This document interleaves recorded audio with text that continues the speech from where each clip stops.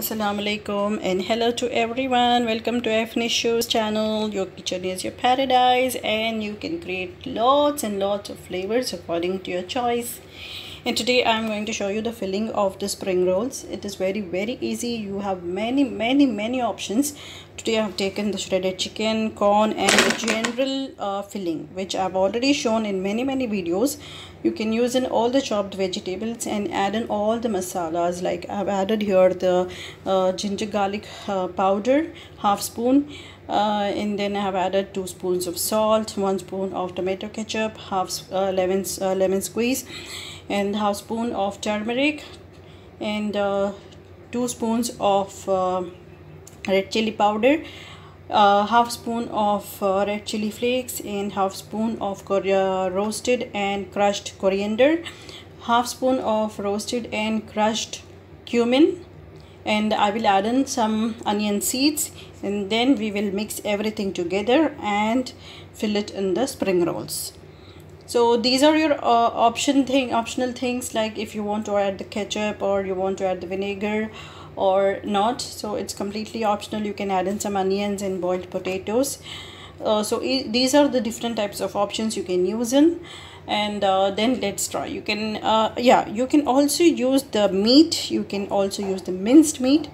You can uh, use the uh, cheese. You can use some uh, soya chunks. And there are so many things you can use. The paneer and so many things that you can use here. So uh, what I'm making today is the shredded chicken one. You can just try this one with the spring rolls. I will show how to make the spring rolls also so till then I will just mix everything together. After adding the cheese the mixture is like this.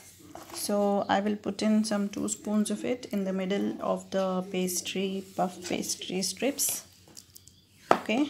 Then I will roll in like this.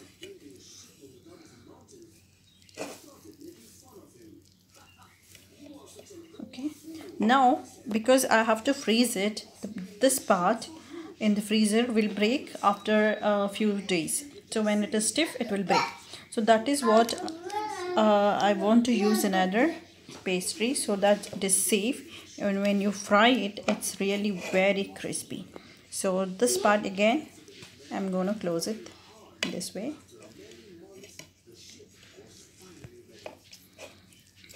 That's it. And then I have kept a little bit of water which is mixed with the all-purpose flour. I'm just logging it so I've already used some three. So these are the ones. Uh,